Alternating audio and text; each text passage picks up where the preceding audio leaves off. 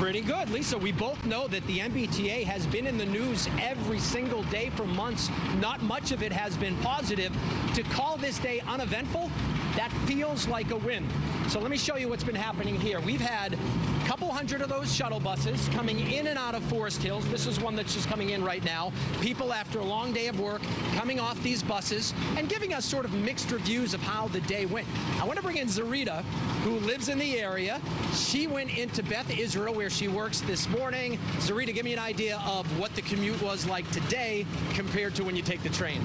So due to the traffic, it does make it harder when, versus when you're on the train. It's just a straight shot. You just stop at the stops. When you have crazy people driving on the roads and a lot of busy people trying to get to work as well as you, it does make the commute a little bit longer. My commute has been extended for more than a half an hour. My commute is normally an hour, so now I'm commuting an hour and a half. So an extra half hour today. Yeah. Zarita, are you ready for 30 days of this?